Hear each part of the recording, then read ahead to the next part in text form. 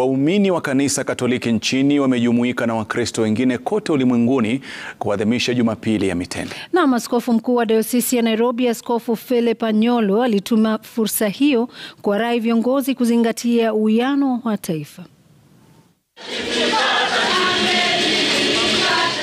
Mjini Kajiado, mamia ya waumini wa kanisa Katoliki wakiongozwa na Askofu James Wainanna wa dayosia ya Kajiado walitembea mjini humo kwa saa chache kabla ya kufuliza hadi kanisani kwa ibada. Sherehe hiyo iliandaliwa kukumbuka tukio la kishujaa la Yesu Kristo kuingia mji wa Yerusalemu kwa unyenyekevu kabla yake kuuliwa katika Biblia Takatifu. Jambo lingine si ni amani, na ni amani ni kwa sababu ya nani?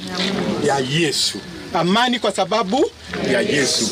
Our core business is to pray for this country, to pray for the leadership, to pray for the opposition and to pray for everyone. Si ndio?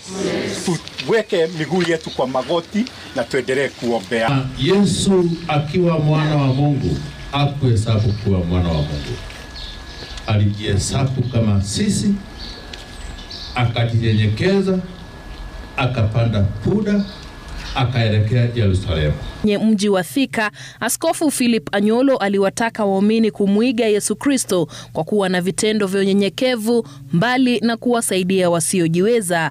Askofu Anyolo pia alichukua fursa hiyo ya kuwarai viongozi wa kisiasa kutafuta suluhu la kudumu ambayo italeta utulivu wa kisiasa nchini. Our President, His Excellency William Ruto in all humility to bend his heart and feel for this country. Also ask Honorable Raila Amolo Odinga to hear the cry of many Kenyans in who desperately want a peaceful path.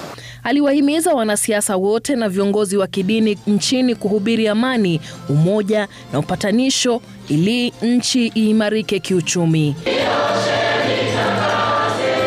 Mary Mwoki, Runinga ya Citizen.